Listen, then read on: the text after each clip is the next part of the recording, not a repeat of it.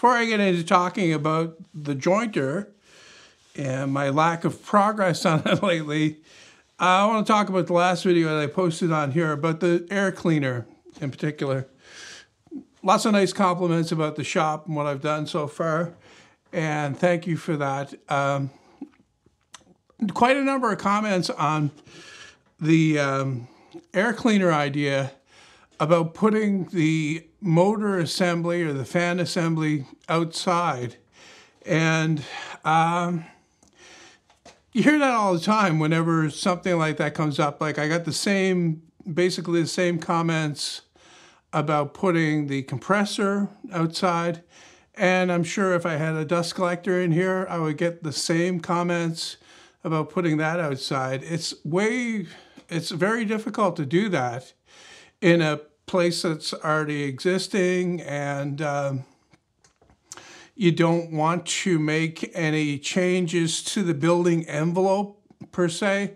Like I spent a lot of time on the outside here getting this redone. I re-insulated it and uh, resided it and all that, made it look good because it didn't look very good when I moved here, as uh, the long uh, time followers would know.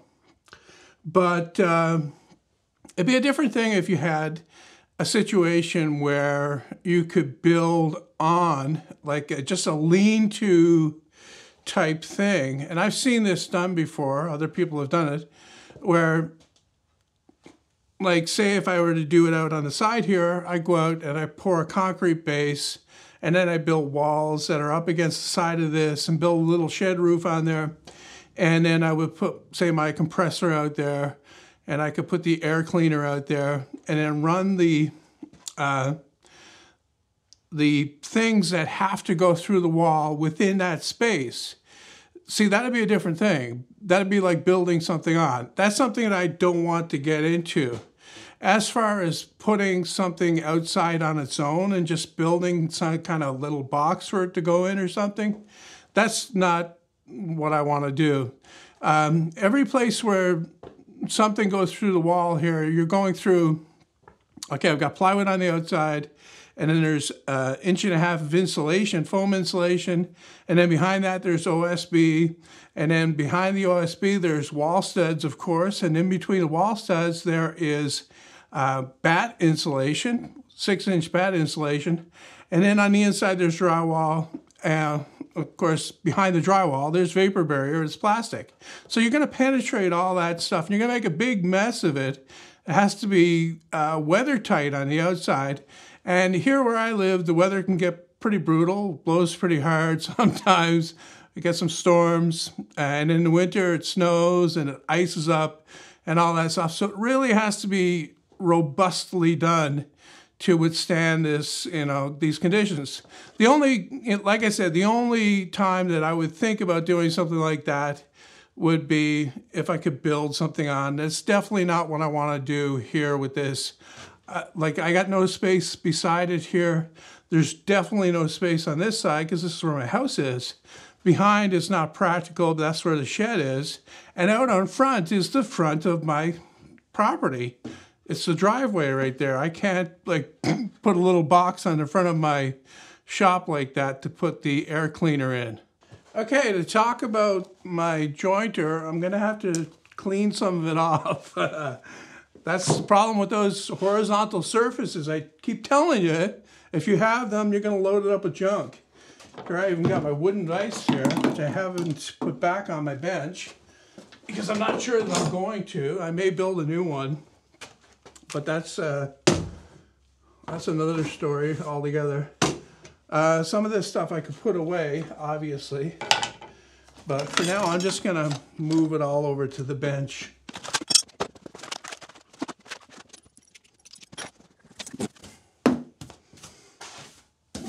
Where's your air cleaner now when you need it? Okay, so it's cleaned off. And now I can talk, I can properly talk about it. Uh, what stalled me out on this? Well, there were a couple of things. Uh, the main thing that stalled me out was I kind of got a little bit burned out on it and I had some other things that I had to get done. So I put this off and put it off and put it off, and then eventually you put it off enough, you know, your emphasis or your focus kind of goes away on it. But um, that's the way that I am, though. I've always been that way. I eventually, almost always, I would say if I had to give it a percentage, I would say it'd be maybe 95, maybe 96. Like 96% of the projects that I start, I actually finish to some degree of satisfaction for me. Um, I've got numerous examples of things that I've started and uh, got halfway through or part of the way through and then stalled out on and started up again and eventually finished it. And I'm standing right in front of probably one of the bigger examples out here anyway. I've got way bigger examples in, you know, other parts of my life, but this bandsaw, it took me a long time to finish it. I started it and uh, I got a lot done, all in one go type thing. And then I kind of lost interest in it for more than a year. So it just sat in my old workshop, uh, sat there collecting dust, and then I picked it up again and I finished it. So that's a good example right there. This will not be the same. I'm going to finish this fairly soon, but there are a couple things that I have to decide on. First of all, I'm having a problem with the steel that I have for the top here. It is not as flat as it really should be for like a precision machine. I, I and my my uh, definition of a woodworking tool's precision is pretty lax. Actually, I don't need it to be uh, something. I said it before. It doesn't have to. You know, I don't have to use it to plane cylinder heads flat or anything like that. But this is uh, is pretty bad. The steel that I use is hot rolled, and I really should have not used it for this. I should have went and got a piece of cold rolled steel, and that would have been a lot flatter, and I could you know I could work with that a lot easier. With this, the last time I was working on it, I was trying to flatten this or straighten it out, and what I was doing was I was checking with a straight edge, and I was shimming it up in different places. And I was recording some of that to make a video of the next video in the build series. So I may be putting some of that in here right now. You might be watching some of that. The other major uh, thing, and, and I don't even know if I have to do it, but almost immediately after I got this infeed side here with the inclined plane uh, finished, I determined that it would be better if I had have made that not as steep. Right now it's at 45 degrees and that's quite steep. And looking on my SketchUp model, I thought it would be good. But the problem with that uh, ramp being that steep is the lack of support it has over the full length.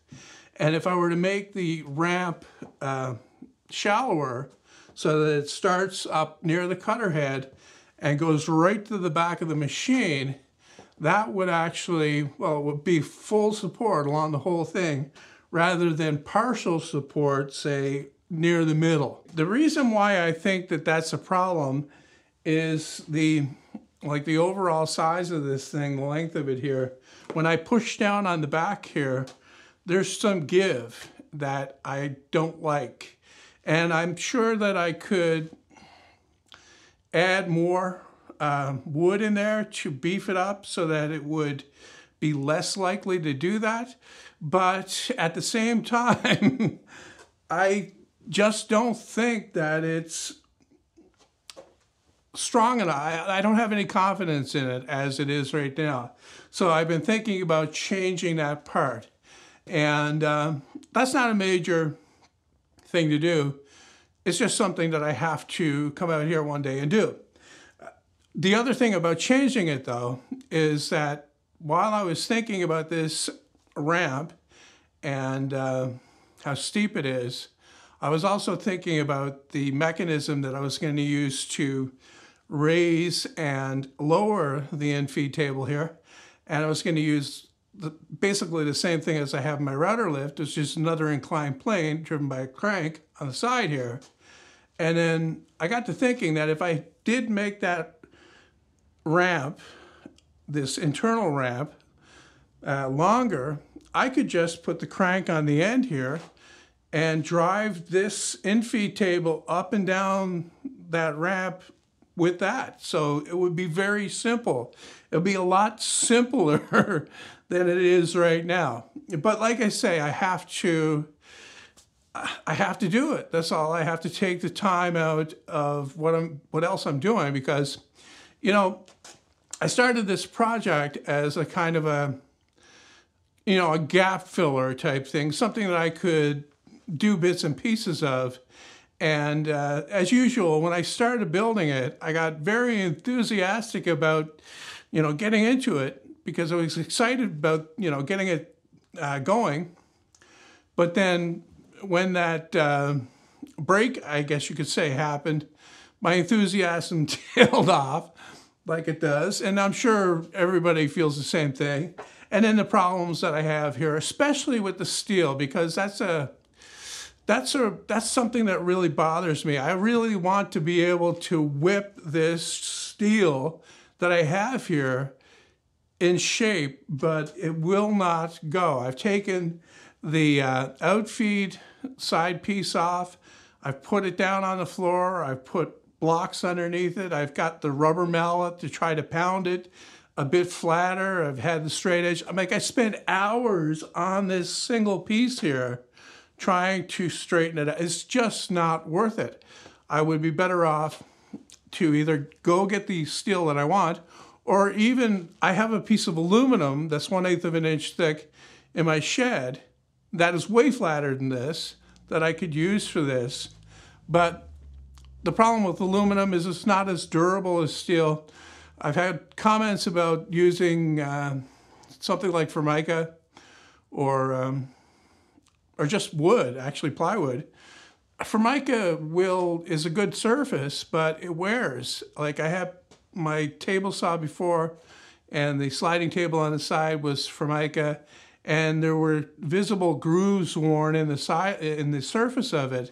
So it really doesn't take long when you're pushing something down against it to wear grooves in that material. It just seems very tough and very hard when you're handling it.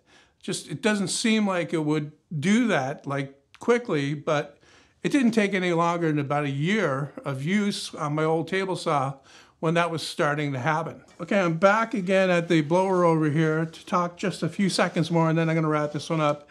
A um, couple of comments about using a different blower, uh, like a slower motor with a bigger impeller.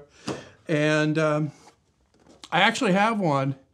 I have one that spins half as fast as this. The, the motor is more powerful though, so it will use more electricity, which is not really a big deal for this because it's not running continuously. And, but the impeller, I don't have as much faith in the impeller. It's not as well made as this one. It's not as precisely made as this one. This one is really good for what it is anyway, and it's really well balanced. So and like I said, I've got this made. Like the housing is all done here. I just need to make minimal changes to that for it to work for what I need to do. So I was out in my shed this morning and I found this. Of course, finding it is not the right word. Uh, it's from, it's originally from my old dust collector and I took it from that and I put it onto my planer cart that had the uh, well, it had this on there that went down through. I'll put a picture on the screen if I can find one. But otherwise, I'll put a link to the actual project in the description. You can go back and see how bad my videos were back in the day. anyway, so this would be the perfect thing to go from the inlet to the plenum because no, this will carry no vibration. This is perfect, flexible uh, union here. It's got the wire inside so it won't collapse also. I don't like it being uh, convoluted like this because that slows down the airflow, but I think I've got airflow to throw away with this blower. And that was the other thing. Um, someone uh, made a comment about slowing it down. I don't want to slow it down. I want to turn this thing on and about 20 seconds later to start seeing the air clear up immediately after running the saw on a heavy cut, you know, making smoke inside the shop. I wanted to clean the air that fast. I don't want to be running this thing all the time. I wanted to quickly clean it. Someone else made a comment about flushing the toilet, and that is exactly right, right there. This thing flushes the toilet. You turn it on, and it gives a big swirl. It cleans all the.